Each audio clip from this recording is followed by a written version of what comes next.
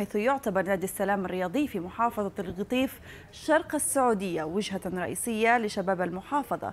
ويحتضن النادي أكثر من ألف ممارس رياضي في مختلف الألعاب. نتابع التفاصيل.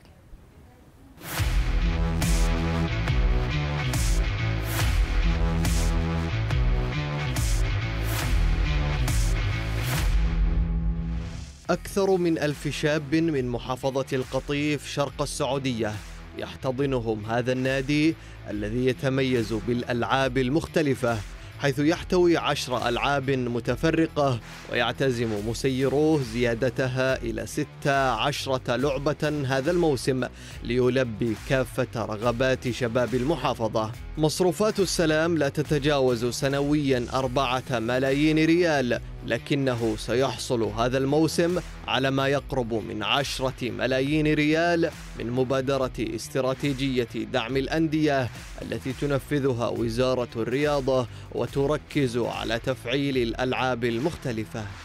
النادي متأسس من عام 1383 في ذاك الوقت كانت الاهتمامات في الغالب في كرة القدم. بعد كذا توسعت الألعاب الرياضية وانضافت عدة ألعاب فوصلنا تقريبا إلى 10 ألعاب رياضية في النادي تقريبا ثمان ألعاب رياضية منها أو تسع ألعاب رياضية في الدرجة الممتازة.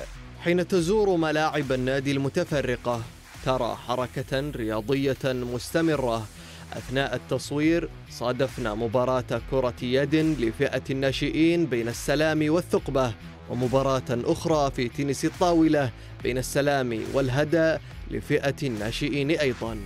بدعم من مقام خادم الحرمين الشريفين وولي العهد ومن دعم من سمو وزير الرياضة بأن هذا الموقع بإذن الله خصصت عليه منشأة نموذجية تخدم إن شاء الله ألعاب النادي الرياضية وتضعنا إن شاء الله في محطة أخرى من النجاحات بعد تحقيق بناء المنشأة النموذجية هذه. يعتبر السلام أحد أبرز الأندية التي تدعم المنتخبات السعودية باللاعبين في مختلف الألعاب.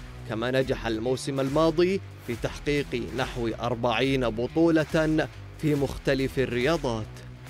من القطيف سلم الراجح العربية